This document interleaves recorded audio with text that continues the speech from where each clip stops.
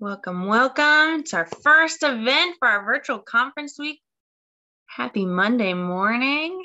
I'm excited you came here to spend this morning with us uh, because this is an awesome event that we have this morning. And we are going to have these events all week, starting at 11 o'clock and starting at 1 o'clock. So um, all the topics are going to be a little bit different, but all within the try this wheelhouse of trying to work together to knock West Virginia off the worst health lists. And I'm very excited that our very first guest this week is Dr. Mark Cucuzzella. Uh, he is an exceptional uh, friend of Try This. He's been with us a long time. Um, and he is a professor at West Virginia University and uh, specializes in a lot of things, I would say. But uh, today he's going to talk to us about pediatric diabetes um, and uh, how we can reverse this ongoing uh, problem that is facing West Virginia, where we're often toward at the top or towards the top of worst health lists for obesity, diabetes, heart disease, uh, but also um, that that problem also affects youth. And so uh, with with pediatric diabetes, we're seeing that that can obviously cause lifelong problems, and and how can we impact that along the way? Without further ado, uh, let's take a second to stretch because in Try This, we like to lead by example and be healthy and move a little bit when we're on meetings this long. So let's start out and we'll end with a little stretch too. So, whatever feels good for your body, whatever you're able to do, if you want to reach your arms up high and stretch out your arms. Uh, maybe if you've been on your computer this morning, you can roll your wrists a little bit, shake it out, get your blood flowing a little bit. And with that, I'll let Dr. Mark Cucuzzella take it away. Thanks for being here, Mark. No, thank you, Brittany, and I hope everybody can hear, and it's a privilege to be with Try This. Hold on a second. Let's do the share screen. Your share screen. I think I, I mean, I've been with Try This from the first meeting, and it was such an awesome, um, just way to connect with people. I, I forgot when the first, it was probably like seven years ago when Kate Long started it and it was probably my most enjoyable meeting medically and community wide that I've ever attended because I just met so many really cool people from fields I knew nothing about, you know, like farming, you know, how to set up, you know, these these community hubs of bringing local agriculture, you know, to, to people, like all the really cool things people were doing with physical activity and trails and building trails. And and um, I hope we all get back together in person because I, th- I think the the beauty of these meetings is just you go to lunch or you go to dinner and you just meet all these new people and you chat with them. And, it, and you leave there with some hope you know i think we're all kind of in this world of despair with pandemic and healthcare and cost and people getting sicker you know west virginia not doing too well but but like we, we, we want to give you all hope and, and give people hope.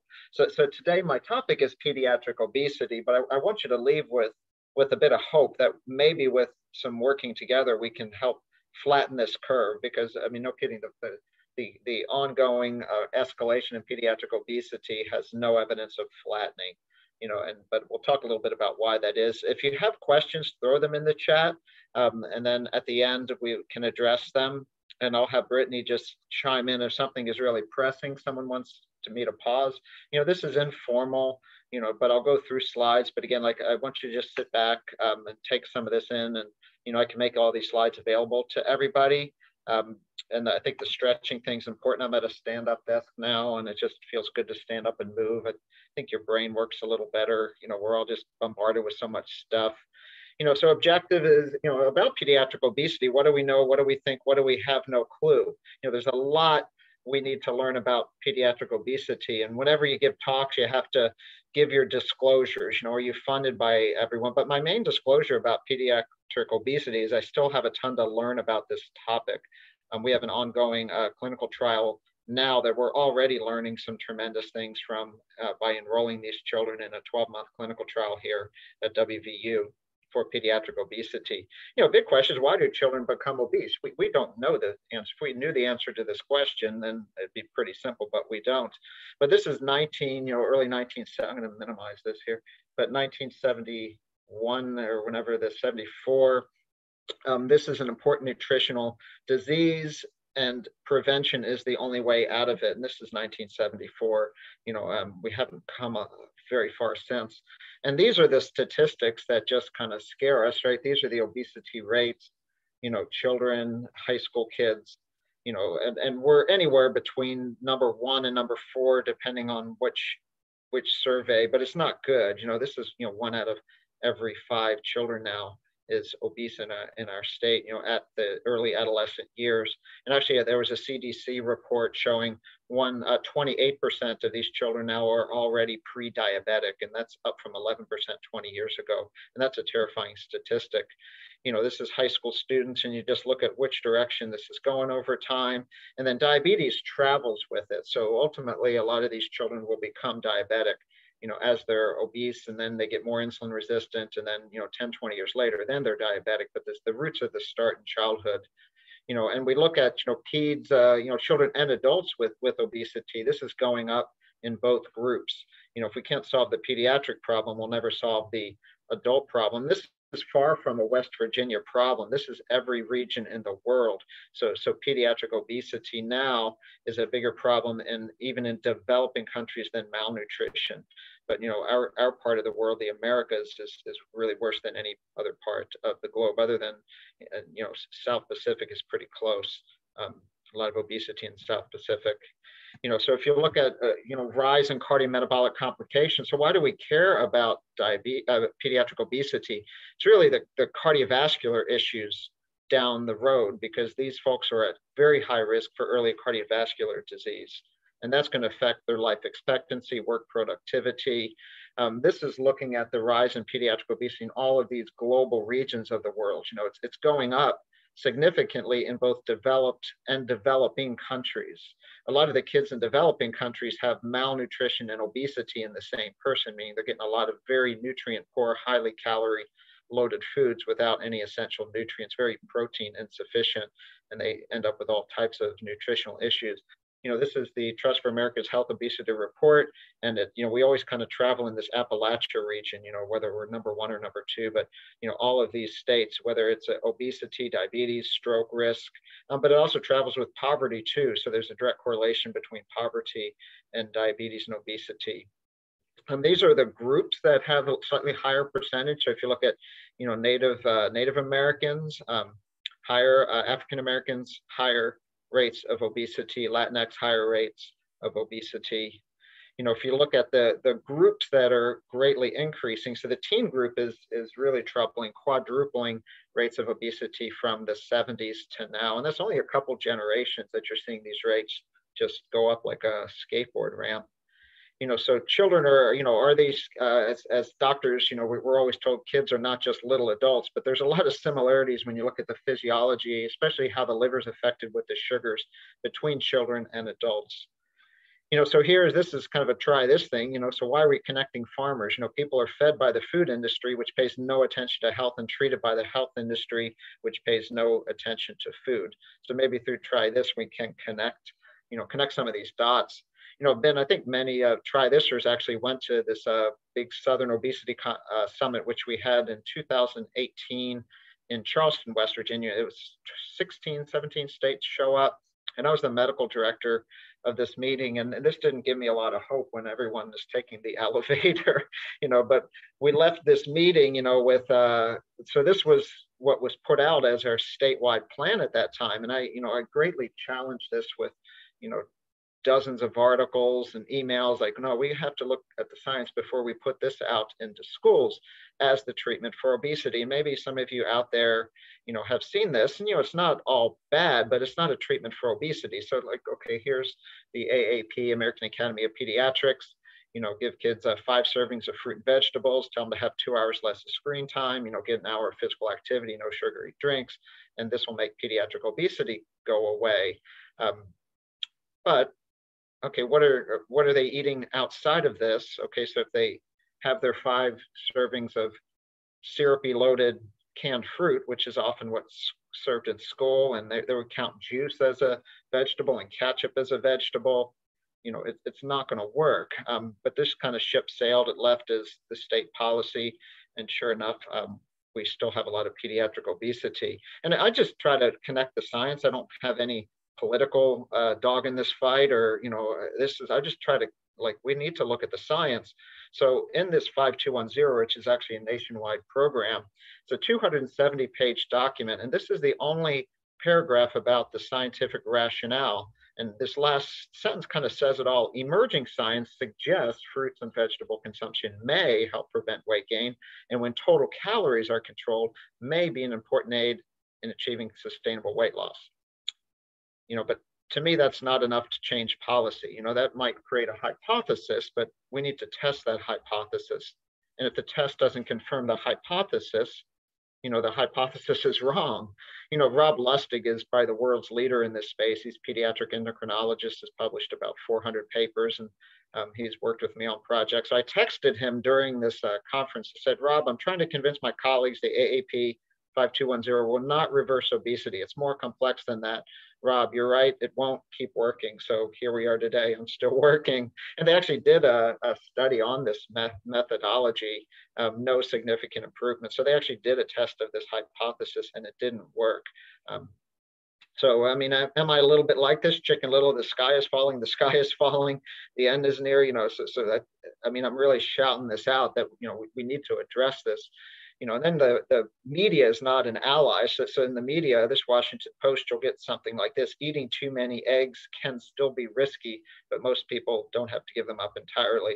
So, so I would, I'd like to ask that author, okay, what about eating eggs is risky, you know, or can still be risky, but it's setting the stage that eating the eggs are risky, which actually are a nutritionally complete food. And our grandparents ate these by the dozens before there was obesity and now we have a lot of cereal with sugar, um, and there's a lot of obesity. So I think I think the eggs are okay, but do your own homework on that.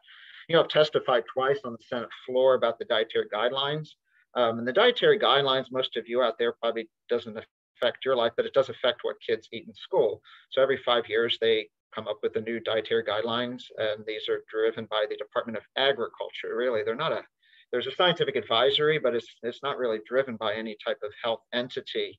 And um, you know, they still push, you know, if you read all of their ways of eating, they contain 60% carbohydrates. Now, if you look at our population, where you know, overweight or obesity is at least 60%. You know, I made the case that these dietary guidelines are not suitable for the proportion of our population that has overweight and obesity. So we need to have caution just putting these out to all as a healthy way of eating. You know, less than 40% of Americans would be considered well enough to eat this way and, and not have adverse effects. You know, and I was also in another policy meeting and um, left pretty distressed. So 2017, I was at the DHHS and there's a number, it was like a big think tank um, group, the AAP, which are pediatricians, CDC, public health, nursing, you know, all, all kinds of folks that were in the policy space of pediatric obesity. And I was the American Academy of Family Physicians representative. And uh, there was a, a, lady there who ran a pediatric uh, bariatric surgery center, which to me is kind of a, ter- a terrifying thought, just the sound of it. Um, but but you know that's why we're in the room, right? It's a safe place. Let's discuss things. But she was uh, describing how difficult it was to get insurances to cover pediatric bariatric surgery. And if you're listening and you don't know what that is, that's called a gastric bypass. That would be uh, taking a 17 year old and taking out their intestines and um, hoping that they lose weight. So there are times where that's indicated, but it's, it's pretty extreme intervention. But she said this well, we put the kids on this extreme diet for four weeks before the surgery, and the surgery becomes safer. They lose 10% of their body weight and almost all of their liver fat. And I was like, oh, so I kind of raised my hand in the back. I was pretty quiet this whole meeting. And I, you know, I asked her respectfully, I said, you know, ma'am, you know, can you tell me about this extreme diet? And she's like, oh yeah, they eat meat, eggs, cheese, a lot of vegetables. Kind of paused. Like, isn't that what we want kids to eat?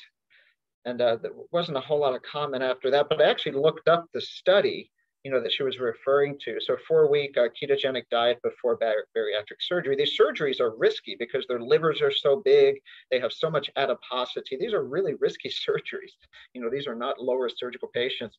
But what they found, you know, surprisingly in the description of this study was they liked the diet and they were not hungry. So if you're out there listening, okay, they lost 10% of their body weight, almost all their liver fat. They're eating real human food. They're not hungry all the time and they like the diet. What would strategy A be? Maybe continue on the diet, but that was uh, my thought. Um, yeah, childhood obesity soaring to new levels. Um, this is a MedPage Today, which is kind of a big publication. And uh, the, the authors of what's called the pediatric obesity algorithm wrote this editorial, and they're talking about more beans, high fiber fruits, whole grain breads as, as the path. These are the authors of the document, which is the, this is the standard of care document comparing the ways of eating for pediatric obesity. So the only way in their own document that's ever been shown to help kids with obesity is a carbohydrate restricted diet. Right? Weight loss is moderate to good, lowers fasting insulin triglycerides. So out of all these ways of eating, the low carb way is the only one that works. But yet the people who wrote this document when writing an editorial to the lay press didn't promote it. So I'm, I'm just kind of confused there. Um, they say, well, adherence to the diet is 50%. I mean, you're listening. To me, that's pretty good. you know, yeah, wow, half of the kids could stay on this diet. Half the kids could stay on this diet and it makes them better and it's real food. So maybe we need to rethink our public messaging here. So these are all of the major organizations that that treat or not treat that teach doctors you know, the Academy of Pediatrics, CDC, National Heart and Lung Blood Institute. These are all these organizations that create guidelines, and not a single one of them are promoting carbohydrate reduce. They're saying whole grains, low fat, whole grains, lower fat. You know, and, and I'm wondering where the evidence is. And I've pulled up these documents, and they don't. They're they're consensus opinion papers. And and I think you all know what that is. A consensus opinion paper is where you have, you know, a group of thought leaders decide what the consensus should say. And if there's not a dissenting opinion in that consensus, then the consensus always agrees that what the consensus thinks is always right. So we need some dissenting opinions, and maybe I'm a dissenting opinion. You know, so this is my own uh, AAFP Family Physicians website, type 2 diabetes in youth, whole grains, fruits, um, low fat yogurt. So, I, you know, I, I, have a type of diabetes that doesn't make insulin and as well as my type 2 patients, you know, if they eat whole grain breads and fruits, their sugars go off the rails because these are still carbohydrates. You know, these can have a place in a well person's diet, but if you're not well, you probably can't handle these foods. Type 2 diabetes in children, the word carbohydrate not even mentioned once in the article. Type 2 diabetes is a problem of carbohydrate intolerance. I mean, at its root, without carbohydrates, there is no type 2 diabetes. Type 1, you don't make insulin. Type 2, you're actually making too much and you're resistant. You know, it's driven by the carbohydrate. So to reverse type 2, prevent type 2, we need to stop the fuel, which, which is the carbohydrate. You know, so here's this is, I think, important and why maybe some of you are in the room. So there's this big treatment void in pediatric obesity. There's effective therapies which have high risk. That's called a gastric bypass you know, yeah, so so it works. It, they lose weight, but there's all kinds of downstream, including psychologic and psychiatric complications from this. And then there's telling people lifestyle, eat less, exercise more, you know, five two one zero, just things like that. You know, they, they they're probably no downside to that, no harm, but but they're not effective. So we need something that's actually effective without a downside, without a high cost, without high risk. And maybe that's the role for carbohydrate reduction because one thing that we know for sure, you know, whether it's a child or an adult, but especially in children, you know, if we suggest anything that makes these folks hungry, what are they going to do? They will eat. Eat. So try to suggest to a child, and kids are being told this all the time. I see kids, and we're enrolling these kids. They'll go to clinic and they're told to stop eating when they're 80% full or something like that, or you know, count calories, restrict calories. And these kids are, you know, breaking into the fridge at night. They are hungry they are hungry. So, I mean, many of you uh, listening now have been hungry before. and if you are hungry, you will eat. So we need to figure out how to not make these kids hungry. And that's the role of protein. Protein is the most satiating macronutrient. So, but it's the most expensive macronutrient too. So again, that's a, that's a challenge for all of us. How do we get high quality protein in these kids, you know, w- without breaking the bank, you know, and in places where they shop at the dollar store you know, this is crazy too. You know, like I was, I'm 55, right? When I was a, a kid, we'd hop into the car. We didn't have seat belts. Certainly didn't have cup holders. But but now, I mean, the everywhere kids go is basically a, a virtual cafeteria. Whether they go to the movies now or in there, this car has 19 cup holders. You know, you got a cup holder for the juice and another one for their snacks. Then you got the TV screen. So we're just setting up our environment now just to be constantly eating, constantly snacking you know, COVID-19, you know, what's this done for pediatric health and obesity? Not good. You know, this is Austria, you know, the sound of music hills are alive. These kids actually move more than the US. And you look at their cardiorespiratory fitness and their BMI is going the wrong direction. And we're seeing the data start to emerge from the US now. You know, this is LA, Kaiser Permanente, you know, the it's it's going up, going up, going up uh, during pandemic. That's not even including their mental health, but their physical health is declining. Um, I wrote an article a couple years ago with Nina Teicholz, you know, is it time to lock down sugar? You know, we had an opportunity two years ago as we saw people with poor metabolic health were getting bad COVID. I was working in the hospital here. You know, if we were to really focus on policy, sure, develop vaccines and you know, public health mitigation strategies of masks or whatever the narrative was at the time, but we no one wanted to take on, well, we need to create healthier people who are healthier hosts because healthy hosts don't get as sick. But but that that didn't take. We I don't think we spent a nickel of public health policy on trying to create healthier humans. You know, instead we sent them home with bag lunches, which just had horrible food in it. You know, when can we uh, address this and fix it? You know, so the earlier you can intervene and get a child on a normal growth curve, the better their odds of being a normal weight adult. So if you reach adolescence, obese, overweight, your odds of becoming a normal weight adult are six percent. You know, so hmm. it becomes much, much more difficult later on. You know, we have to address this early. And it seems like I did a, a you know big deep dive into the literature as we prepared for our study here. You know, age six tends to be, you know, and you're like, wow, age six. But but kids who are obese at age six, the children go through different phases of growth and what we call adipocytes or the fat cells. So they can multiply and they can expand. So the time these adipocytes are multiplying are kind of those periods of rapid growth, you know, so the age four to six and then the adolescent years. So, so when kids are on this, this really uh, high trajectory of obesity in that pre-age six, it kind of sets, sets their set point and we don't understand fully why, but we know it's really difficult when kids are really obese at age six to reverse it and that's a time where the kids really have no you know they have no say or play into what they eat right? So this has to come down to policy because kids you know they, they, can't choose their food right? Uh, they're, they're not overeating and exercising too little. They're six years old. So it's not their willpower flaw.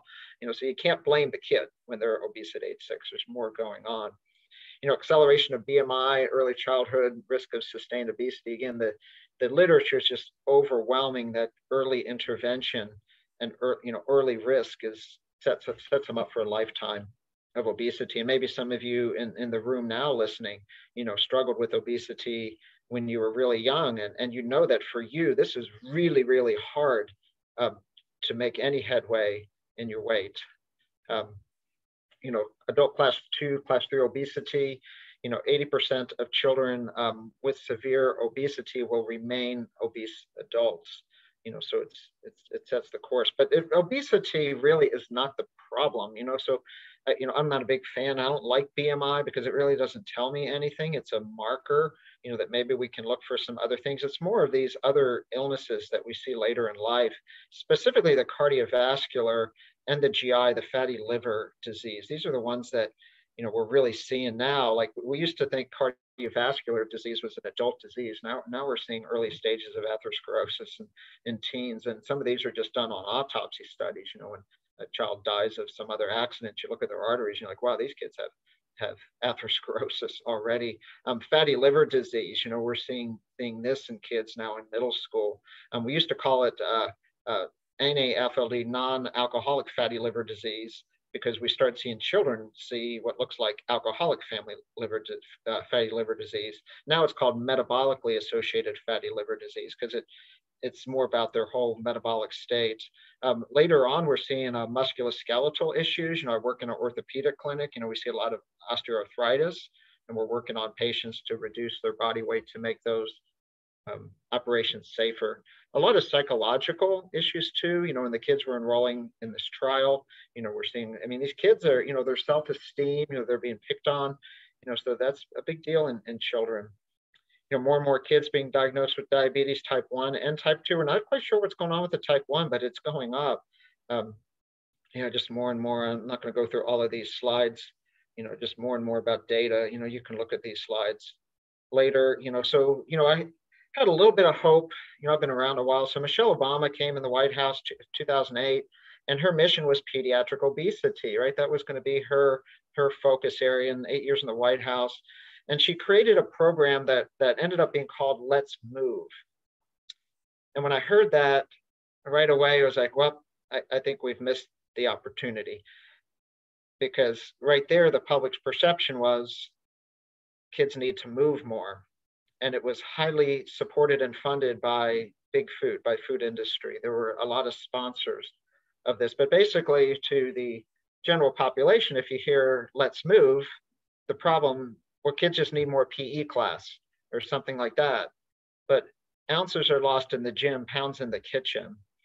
So we saw that this did not uh, wasn't with ill intent or poor motivation. I think the motivation was correct, but, but we are all influenced tremendously by these conflicts of interest. Big food and big pharma really run the show. You know, the rest of us are trying to joust at windmills. Um, okay, so what does work? This is hard, right? So the only things that have been shown to bend this curve a little bit are these really multi-component behavior interventions. And these aren't things that can be applied massively to a population like West Virginia, you know, where you probably got 20 to 30% of the kids now needing something like this. You know, these are take a ton of manpower, a ton of resources. Some are even inpatient. You know, right, right now, like you can't even get kids to a doctor's. You know, so Cochrane reviews, you know, more questions than answers. No one's come up with the answers. We just, every time we look at the data, it, it just creates more questions. You know, and parents now too, you know, you see this throughout the state. We've kind of just become kind of inert to this because now like it, it's kind of normalized you know obesity because you know parents have it kids have it. You know maybe half the people in the healthcare office have the same problem. So we don't really view it now as a problem. So no one wants to really intervene. You know they're kind of in and out of there. Same stuff happens you know make sure their immunizations are up to date. You know and is that anyone's fault? You know really no because to really you know stop the train and address this you got to have an intervention that works and it takes a ton of time and resources. So if you're in a rural clinic in west virginia you know seeing a child every 15 minutes as a doc and you're expected to address this problem with no resources like there's no way. You just just pass go because you, you can't do it. You know again we have to work better together. You know attrition is is huge. Majority of these these patients drop out of these treatment programs because you know, it's it's harder. Maybe they're not getting the right. I don't know why they all drop out, but but they they drop out. You know, lack of social support. So so in our pediatric trial, the family has to engage. We can't have the family saying we're going to eat this one way, and little Jimmy, who's age eight, you know, having chicken breast and vegetables, and the rest of the family is having McDonald's. You know, that's not fair to little Jimmy. So so they need to have that social support you know, junk food. You know, is is that the smoking gun? The junk food? You know, may, maybe maybe not you know, uh, poor diets. You're seeing Wall Street Journal talk about this now. You just watch what kids eat. You know, more than half of what Americans eat it would be termed termed ultra processed, and these are pretty much anything in a box or a bag is ultra processed food. You know, folks will accuse me of being like, you know, a you know anti carb, like, but no, no, I'm not anti carb. I'm anti junk food you know, if you go back a few generations, this is carbohydrates and otherwise well people were vegetables, fruits, root vegetables, legumes, nuts. That's all fine. But now most carbohydrates that people have, you know, are chips and cereals and you know all, all the stuff, uh, you know, packaged muffins and all, all of that, refined grains. You know, trends in ultra processed foods. You know, there was an article this past summer you know, they're estimating, you know, about 67% of the foods that teens eat is this ultra processed food. You know, but really, if you dig deep into the study, it actually shows you more than this.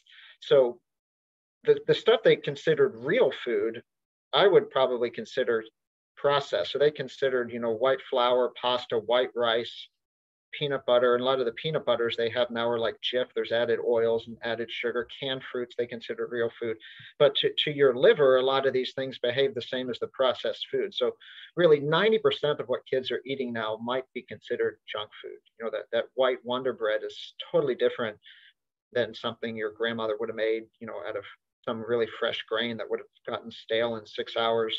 That's why everyone ate it really quick because it was delicious. But different types of flours, you know, increasing trend consumption of calories from ultra processed sweet sweet snacks. I don't think that's surprising to any of us. Uh, this was from the authors too. We need to identify and evaluate strategies to reduce the added sugars. You know, yeah. So the the companies just push this out, advertising. Watch the Super Bowl. This is no surprise to any of you. Um, when you eat these ultra processed foods too, they trick your brain. This is a study by Kevin Hall. So the total calorie intake when people were allowed to ad libitum real food versus these ultra processed foods was about 500 calories a day, meaning your brain just says, I, I, I need to keep eating. Like, but when you don't eat the ultra processed food, somehow your brain decides I don't need to eat anymore. You know, that's you know called the gut brain axis. You know, there's all these, it's not calories, there's all these neurohormones and peptides that say, okay, I'm full. I, I don't need to keep eating. And that gets hijacked by the processed food. This is what we were serving children during the pandemic, chocolate milk, you know, which has six teaspoons of added sugar. This was the fruit. You know, you couldn't get fresh fruit, so that's just basically all sugar. Look at the types of cereals. These were given out by our own school districts, and it's not the school district's fault. This is allowed by the state. You know, there's like Lucky Charms. I think that's uh, yeah, Cocoa Puffs, Cinnamon Toast Crunch, just crazy, isn't it? And they get these juice boxes, sugar, sugar, sugar, sugar. The dentists were just in distress seeing all that. Yeah, so advertising, it's all targeted to kids and, and especially the minority kids, the kids with less, uh, less privilege to buy better food. They're targeting them even more. Agricultural subsidies, subsidies are are usually given to big ag and, and food that does not promote human health. You know, is it just the sugar? Gary Taubes, I spoke at Try This. Uh, if any of y'all came to that, we had a Try This medical conference maybe four years ago, and Gary came and, and was our keynote speaker. So we, I went, uh, this pre-pandemic, I, I had a, a, grant and we went into the schools and just surveyed kids. You know, it was great. We just had them in the room and we would just give out these little kind of fun, colorful handouts and they would answer these questions. Did did uh, you drink any fruit juice or sweet drinks? You know, how many servings? You know, 40% are getting three plus servings a day. These are elementary school kids. Um, kids develop an innate preference for this sweet taste also. You know, the, the earlier they are, the, the, more that part of their brain just develops this, this uh, drive to eat more of it. Um, so if you have kids, keep them away from all those juices and sweeteners. Artificial sweeteners too have similar effect as to the brain. So the brain just loves this stuff. You know, go back, you know, and this isn't really that long ago in the history of human existence. So 1750, you know, there's houses in this in these counties that were built in 1750. You know, you go out into the rural areas, you know, four pounds per year of, of sugar, and now it's uh, 40 times that.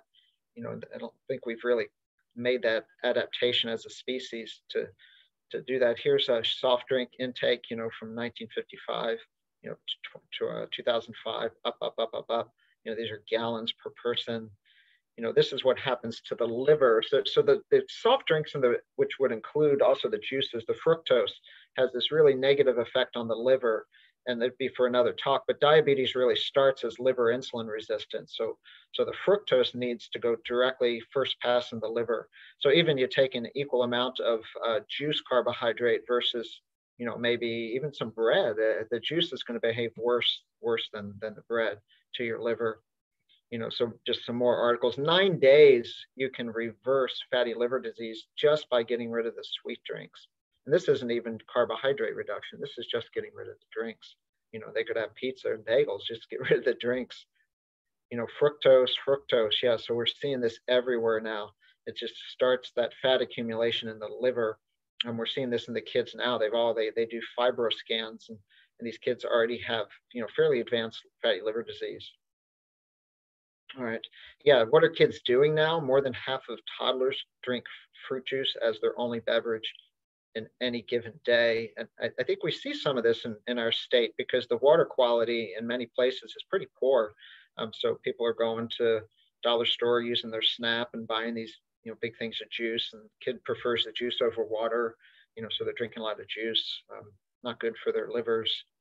You know, the AAP actually uh, came in and, and now has put kind of a recommendation for less fruit juice you know, generational rise. You know, when, when I was a kid, we had these things called juice glasses. They were they look like shot glasses. They're these little glasses, and now juice glasses are like these monster glasses. Yeah, packaged foods. You know, if you go down that baby food aisle or that toddler aisle in the grocery store, you know, 100% of these these desserts have added sugar, and even the things that you know, I, the term I use is called like greenwashing. You know, the front of the package will have like organic or something, or you know, whole grains or real juice, but but they're added sugar. So the front of the, the package should always be a warning label. Flip to the back um, and look at what's actually in there. You know, 20% of the calories of many of these foods is just added sugar. Homeschool environment, this is from our survey too. You know, almost all of these kids have sodas, sports drinks, snack chips at home.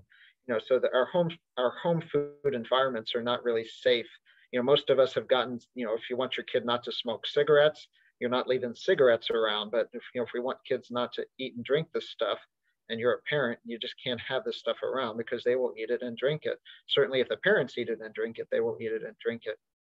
You know, screen time, you know, double disaster is probably sweetened drinks and screen time. You know, so I, I believe physical activity has a huge role. Um, when the two toxins are together, it's really negative got maybe 10 more minutes. I'm just going to fly through a few things, you know, that kind of attach some of the history. You know, what do kids eat in school?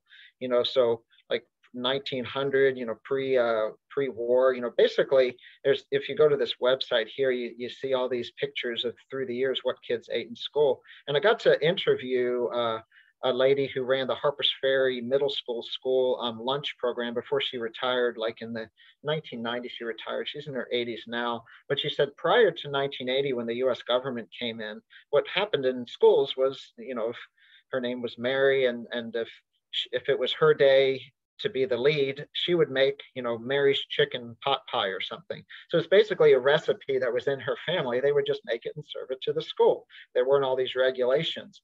And then uh, when the government came in, now you couldn't add salt. They gave you whole wheat flour, and the kids hated it. And you, you couldn't add any fat, you know. And the kids hated it. She said her own her own kids needed to pack lunch, so so they basically extracted that knowledge and that of these ladies and men maybe too that cooked for generations of school kids.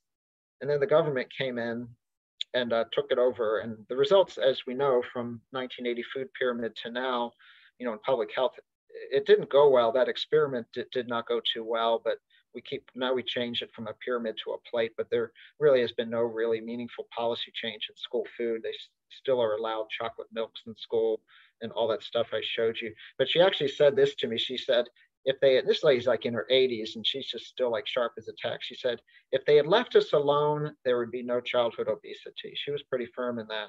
So he's like 85 years old now. They left us alone, no childhood obesity. Picture from the 60s. Actually, in the 70s, fast food was allowed access into the schools, you know, but, but that's been extracted, thank God. But this is what happens in school. So this is from um, one of our county's websites. Uh, so you can actually look up what the macros are. So this is uh, free school breakfast and lunch. 141 carbs, 19 protein. Lunch, 89 carbs, 35 protein you know, then they go home to pizza and probably some more sweet drinks. So, so to a child's little kindergarten liver, you know, there's they can't handle this. This is a ton. This is not a nutrient dense way of eating. 230 grams of carbs just with breakfast and lunch. You know, then the kids might grab some seconds. There's still vending machines in the schools. Now they don't let kids use these during school hours, but after hours, the kids can go use these vending machines. You know, they say uh, healthy snacks inside. This is, I don't see anything healthy in that vending machine. it's like Mountain Dew. It's crazy. Um, we're pushing things nationally like meatless Mondays. But if you actually look at a child, a child needs animal protein, you know, for adequate growth, you know, unless you're going to really supplement the heck out of this child because B12, iron, vitamin D, you know, these things travel with the a- animal products, you know. And again, I don't have any, I'm thinking scientifically here. If someone has a religious or moral reason, you know, not to have any animal products, they can do that, but but they need to make sure they're getting, they have to supplement, they have to make sure they're getting the complete proteins, B vitamins, zinc, iron, all of these things. So so again, that may that might not be the best idea. I would I would propose sugar-free Mondays and sugar-free every day of the week. Maybe maybe that might help us out and actually you know bend the bar a little bit. Bariatric surgery in kids, we talked a little bit about that. You know that's an extreme. I, I don't think eating plants and animals is extreme. I think doing this is extreme to a child. And the people that do these surgeries, you know, they, they make their own consensus statements. So they should be considered standard of care it, do, do y'all know what standard of care is? That's like first line, standard of care. So I disagree that doing this to a child is standard of care. And I'll, I'll take that one, you know, again to the argument floor and state my case. And that's why we have discussions. You know, I don't think it should be standard of care. You have mental health problems persist. You know, that you, you create malnutrition. If you take a child's or an adult's intestines out, you know, your small intestine especially is essential for absorption of multitude of micro and macronutrients. So, so we end up, I see a lot of these patients in clinic, you know, after gastric bypass, and we've got to, you know, you have to draw half their blood volume every year to test for all the vitamin and mineral deficiencies and then supplement it all. It gets very complicated. Um, so it's, it's not an easy solution. Robert Lustig, Obesity as a Metabolic Disease. This is a really good book to read. I'm not, I'm just going to go to some of the uh, interventions now for pharma and and uh, exercise, a little bit about exercise. So weight loss medications, we just hit this one really quick. So this was a kind of review article, pharmacologic treatment of pediatric obesity. You know, the slide is intentionally blank. There was no, the only one that they actually approved was one called Orlistat, which makes you not absorb fat. so if you eat a lot of eat fat, it makes, it creates all these oily stools. But there was, it was like 2% uh, BMI reduction, something, but then it's like loaded with side effects. And then they're not absorbing the fat soluble vitamins. Milks, so uh, low fat milk compared to the real milk your grandmother had. If you actually look at the literature, the kids who drink the real milk have less obesity. Um, why we're still giving skim milk in school, I, I don't know why. And, and kids hate the skim milk because it doesn't taste good. So then we add chocolate and strawberry syrup to it. So exercise. So, you know, I've, I've done exercise sessions that try this and I love it, you know, like getting people out and running and moving and doing fun things with kids. We build trails. We have a nonprofit here that builds trails at schools. So this is great for kids, great for their brains, gets them outside. You know, exercise is wonderful. You know, fitness and body mass index. The kids, I don't know if it's causation or just association. Kids with very high fitness tend to have less obesity. Um, it's all good, right? Like, you know, it's like the diet is king and the exercise is queen, and together you have a kingdom. So, so I would stay away from arguing either or which is better. I think anyone out there listening to this who's living a healthy life, you kind of know, like, yeah, if you take, I love to run every day. It's my mental health therapy. But if you took away my run in the morning, I'd be pretty miserable, even eating a healthy diet, because it does good things for me.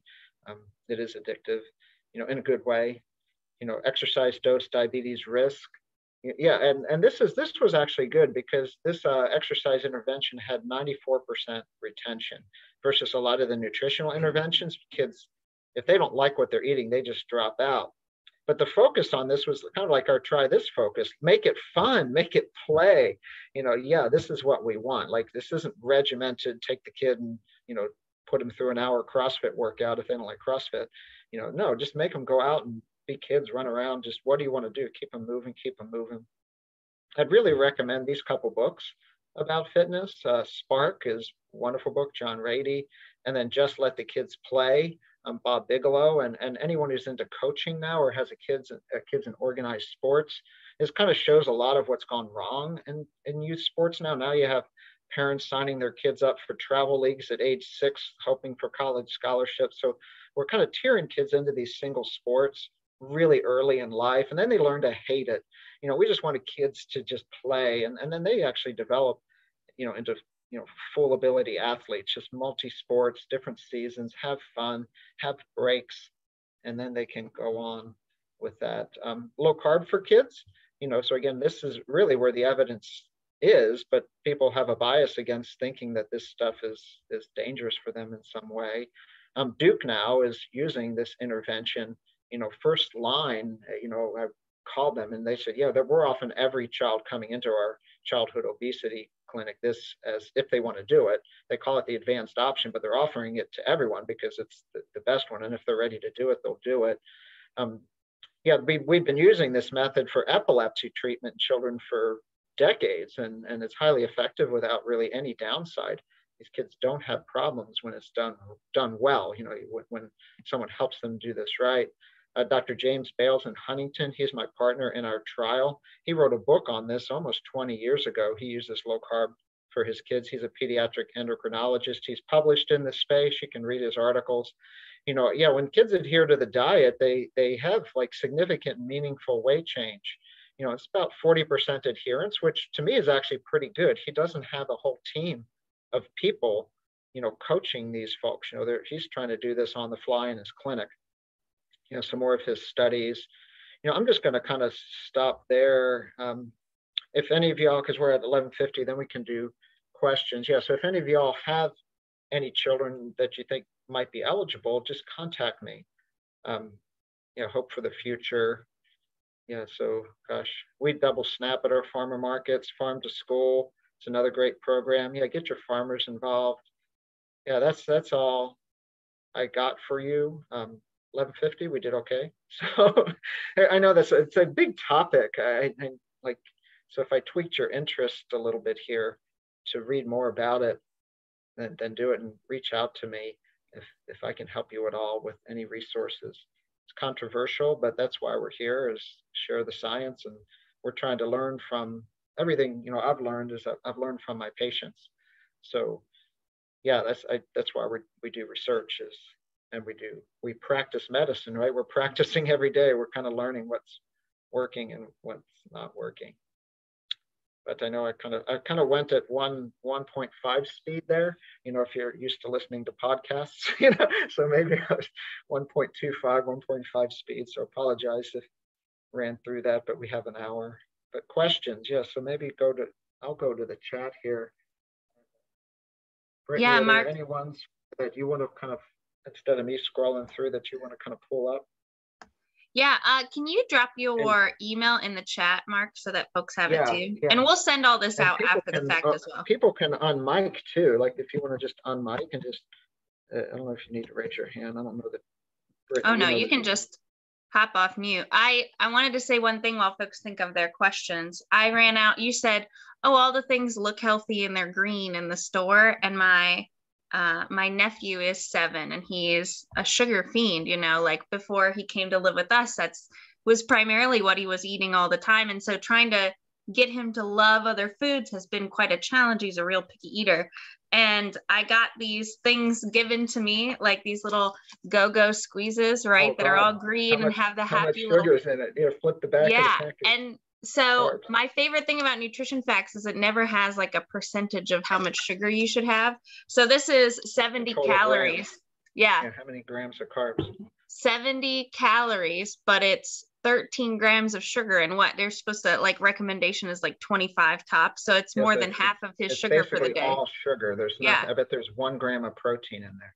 Uh, zero. Yeah. Zero. So it's 16 yeah, so grams. It's all carbs no is the protein. only thing in here. Yeah. So uh, you're no right nutrition. about that. There's absolutely nothing that's going to help that child's you know, yeah. sustainable development.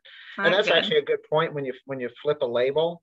You know, if, if there's more carb than protein, it's probably not going to make you full because we need the protein. We need essential amino acids. That's the building blocks for cellular repair. So carbs can give us energy, fats can give us energy, but we need protein for cellular maintenance. So if you like you pick up a low fat yogurt, it's going to have 28 grams of carbs, five of protein. But if you go get a plain yogurt, plain Greek yogurt from Aldi, it'll have six grams of carbs, give or take, and it'll have like 13 of protein. You know, so you always want more protein than carbohydrate. Mostly for like, I mean, for everything, for satiety, like you're not going to be hungry in an hour. Plus, that's what you need is the protein yeah, breakfast cereal, like no protein, all sugar.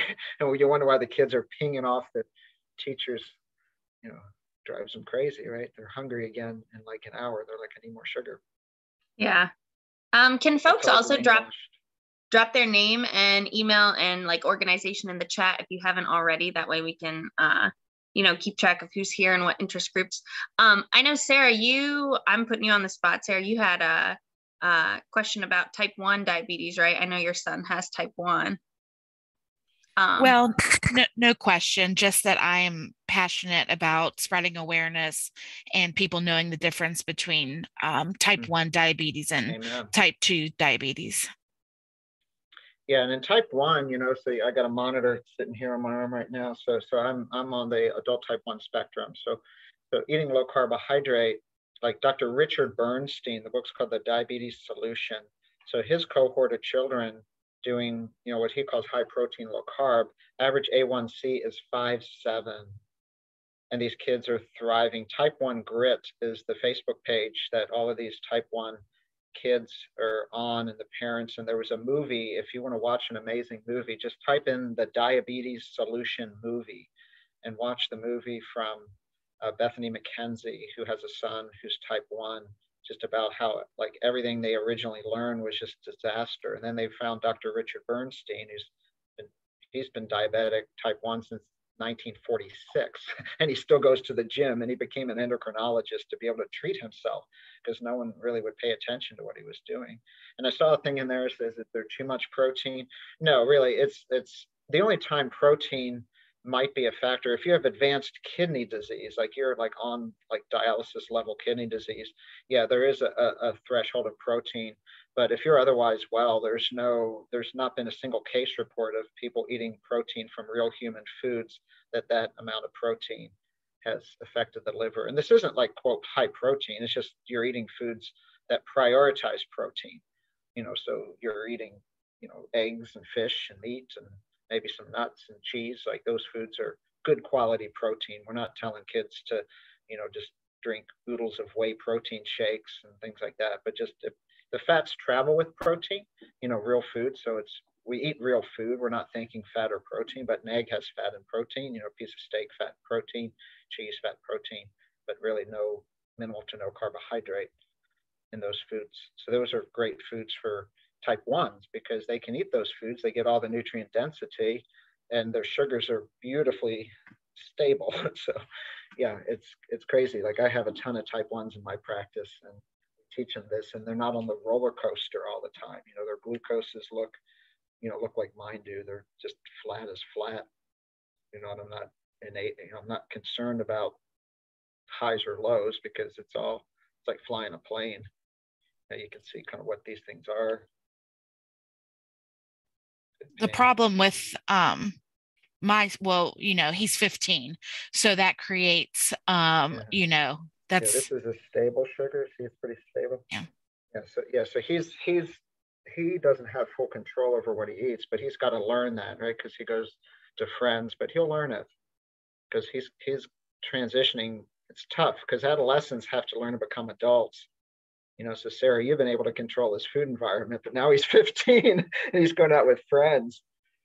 So but the kids it's crazy. Uh, these kids really want to be well. Like they i've seen kids 15 you know type ones be able to go out eat pizza with friends but they just have the cheese they put it in a skillet they take the crust off and they enjoy their social time and they don't have sweet drink and they're fine and they do great but he's getting better. I mean, we have um, the Dexcom and he's on the T Slim.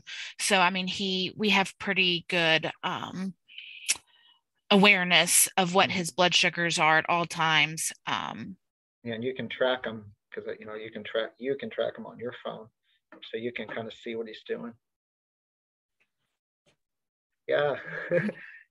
He's a little high right now. Yeah, I, I want to hop on because on the follow. Yeah it's been interesting because I've watched Sarah and Manny go through the whole process of figuring it all out, and she has really educated a lot of folks in the community about it.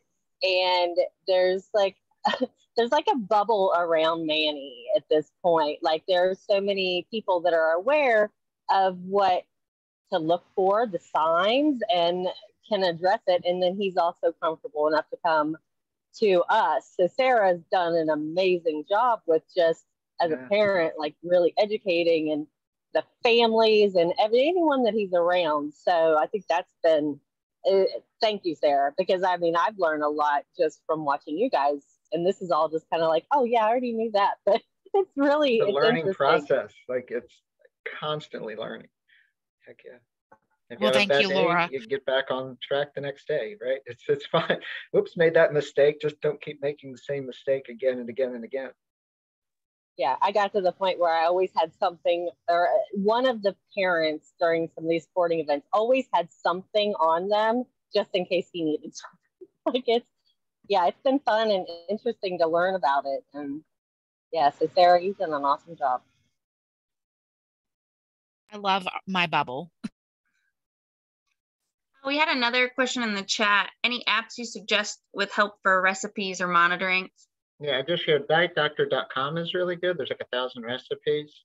And there's a little little book that I, I wrote, which I give to patients, but you can download the whole book. So if you just go to tinyurl.com forward slash low carb any budget, we designed this book to be able to go into a dollar store and buy you know foods that are low in carbohydrate for people with obesity, diabetes, prediabetes.